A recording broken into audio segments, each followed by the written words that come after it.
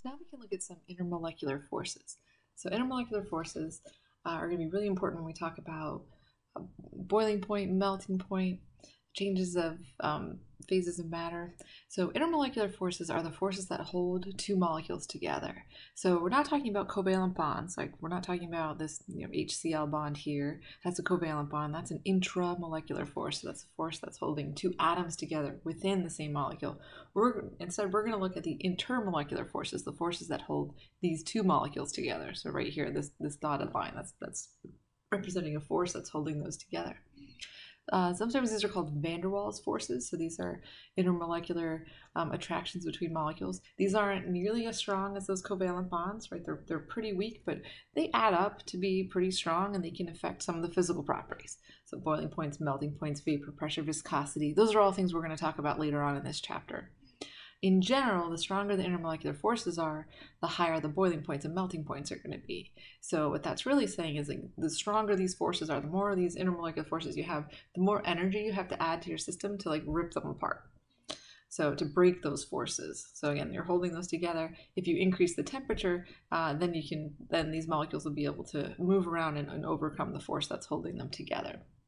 So the stronger the forces are, the more energy you need. That that makes it have a higher boiling point or melting point. So remember what boiling and melting are. Boiling, you're you're going from a, a liquid to a gas, so you have to break all these intermolecular forces um, that are holding things in the liquid phase. You break those forces, and then they become a, a gas. For melting, you're going from a solid to a liquid. So three of the, the van der Waals forces or intermolecular forces we're going to look at are dipole-dipole interactions, hydrogen bonding, and London forces. So London forces, uh, those are forces that everybody has, whether you're polar or non-polar, doesn't matter. Everything is going to have um, some kind of London force, and we'll talk about those next. Uh, dipole dipole interactions are found in polar molecules. Okay, so these are dipole dipole um, interactions are found in polar molecules. London, um, everybody has them. Whoa. Everyone. Um, so nonpolar molecules, that's the only force that holds nonpolar molecules together are these London forces. But those forces are found in, in, in polar or nonpolar molecules. But for nonpolar, the only thing that's holding them together are London forces. And then hydrogen bonding are, those are a very particular type of polar, um, sorry, of dipole-dipole interaction. And it's when you have a hydrogen that is directly attached to an oxygen, a nitrogen, um, or a fluorine when you have that situation, then you can have hydrogen bonding. So we'll talk about each one of those in a little a little more in depth. Uh, so first we'll talk about London dispersion forces. So again, everybody has London dispersion forces, both they're you know present in all molecules, um, in both polar and nonpolar. Uh, but what it, but nonpolar molecules, this is the only one that they have. So if you have a nonpolar molecule, your only hope here is um, is uh, London forces holding them together. So these are sometimes called instantaneous dipole moments or instantaneous um, dipoles. So dipole-dipole interaction, right? That's that's between two polar molecules. That happens when you have like a separation of charge. So dipole is really when you have, you know, one side of your molecule is positive and one side is negative. You get this little magnet situation kind of thing, and then it's going to be attracted to like another molecule um, that is, you know, whoops, one side will be positive, one side will be negative. Negative will attract the positive.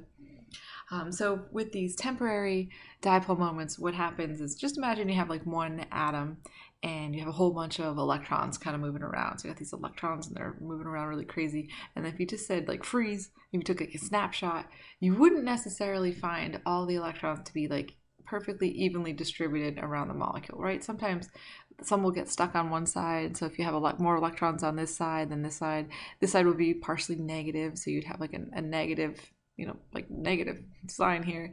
And then the other side where you're lacking those electrons, it'd be more positive.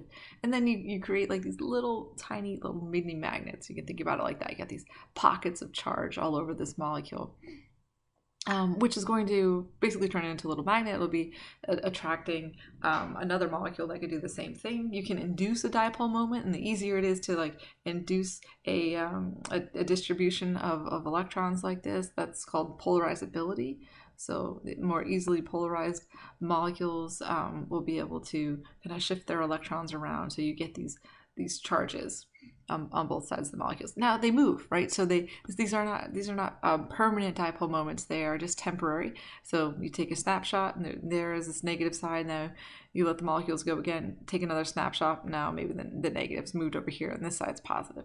So it can move around. And the more electrons you have, the stronger this force gets. So this tends to increase with uh, molar mass because the more um, the more electrons you have, the more everything you have. So it's going to get a, a, a bigger molecule in them. So these, if you were to compare two molecules that both had London forces, whichever one was heavier, whichever one had a higher molar mass, is going to have stronger London forces, which are intermolecular forces. So the stronger the intermolecular forces are, the um, greater the, the higher the boiling point is going to be. So London forces again, um, these are just these instantaneous dipole moments uh, and you can induce a dipole moment. London forces nonpolar molecules, that's the only force that they have, but every molecule is going to have um, London dispersion forces. There's a bunch of factors that can affect the London forces, like shape, which is kind of weird. So if you look at these two molecules, this is C5H12 and this is also C5H12, but they have a different arrangement. So this one is just like five carbons in a row one, two, three, four, five. And this one has three carbons in a row, and then one on the top and one on the bottom. And then enough hydrogens to um, make sure that all the carbons have four bonds. Now, when you have an arrangement like this, like this one ends up being um, pretty cylindrical, and this one is more spherical once you start putting on all of the hydrogens. And so you see the carbons are black and then the hydrogens are white there. And so what happens is that if you had two molecules that were kind of like shaped like this, right, and they were packed pretty tightly, they have a, a pretty strong, um, pretty large amount of surface area that overlaps versus these guys, right, which only really interact in this like one little spot where they hit.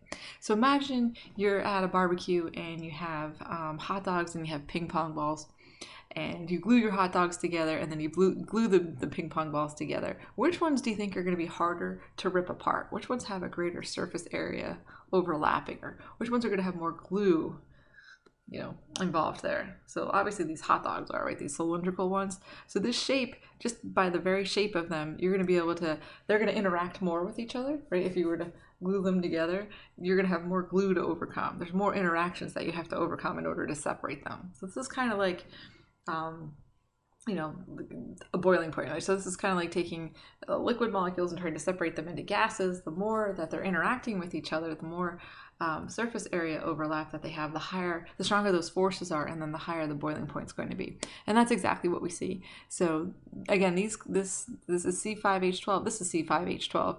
Um, they have very different boiling points based on their shape. Really, the, the only difference here is their shape. This guy over here is cylindrical, and then this guy is more spherical. And so, because the, the two hot dogs over here can interact a lot more, the boiling point is higher. So, the boiling point is 309 versus 282.7.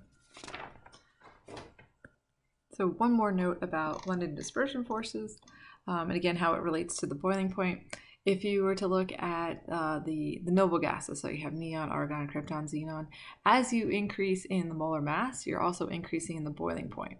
So um, neon is the smallest, it has a 20, in, in the boiling point is a 27 Kelvin. And then as you go down that group, right, you're increasing in molar mass. Now xenon has 166. You can compare the same thing with the halogens. As you increase in molar mass, you're going to increase in um, the boiling point as well.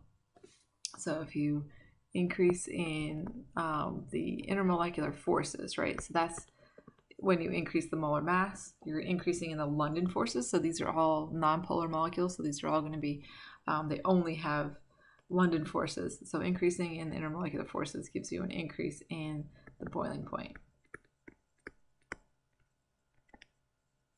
So in the next section, we'll move on. We'll look at dipole-dipole interactions and hydrogen bonds.